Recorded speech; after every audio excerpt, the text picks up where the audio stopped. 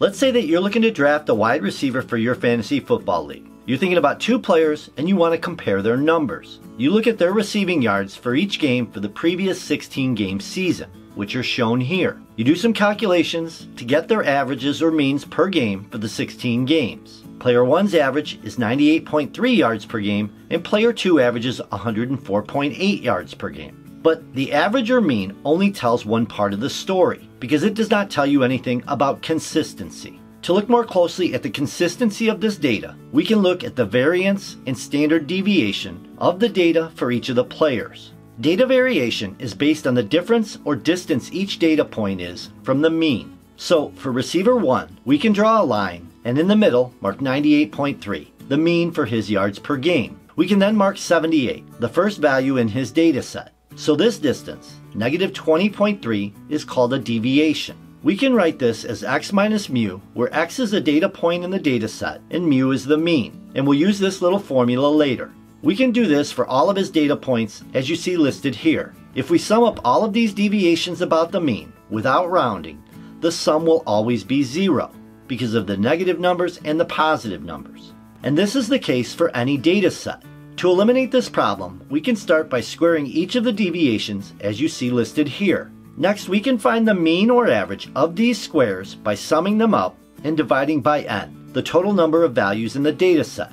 The sum of the squares is 26,225.04. Divide by n, 16, and we get 1,639.1. This value is called the variance. The formula for this is written small sigma squared equals the sum of x minus mu squared divided by big N.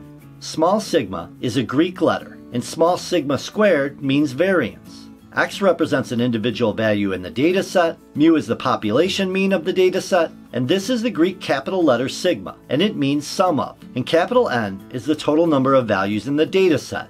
The one problem with the variance is that it does not have the same units as the data set. The variance we calculated is in square yards, and our data set is in yards. To overcome this problem, we can take the square root. So the square root of 1639.1 is 40.5, and this number is the standard deviation. The formula for this is the same formula as the variance, just putting a square root on both sides, so now it's small sigma equals the square root of the sum of x minus mu squared divided by big N. The standard deviation is powerful in that it gives us a measure of variation of the data set about the mean using the same units of measure as the data set.